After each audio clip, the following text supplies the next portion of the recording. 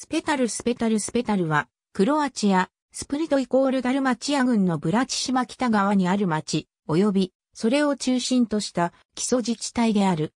スペタルは、スプリツカ、スクリプ、ミルツァの各地区も含まれる。2001年の国勢調査による人口は3889人で、ブラチ島では最大の町でアパートが建設されるなど開発も進められている。スプリトからはヤドロリニアのフェリーで約45分かかる。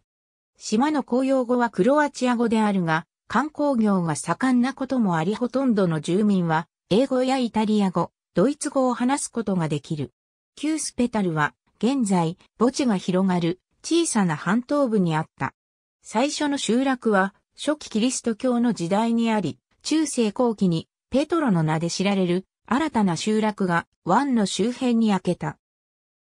現在の町の名であるスペタルはここから来ている。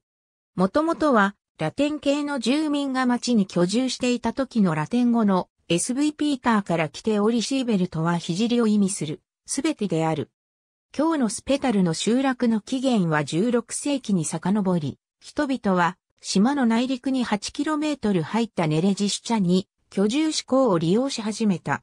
主に18世紀から19世紀を通じて発展が進み、ネレジシチャからスペタルにブラチ島の行政的な中心となった。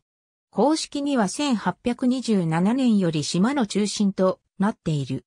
教区教会である聖ペトロ教会は、古い教会の脇に1773年、バロック様式で再建された。